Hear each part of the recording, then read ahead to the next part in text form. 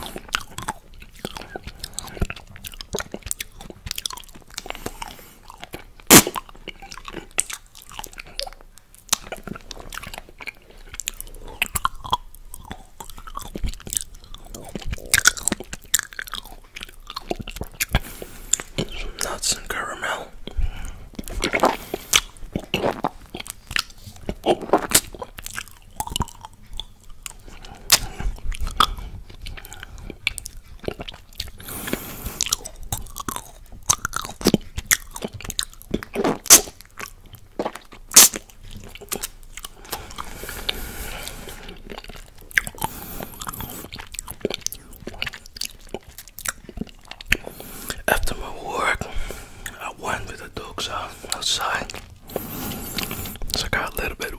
I'm now eating ice cream.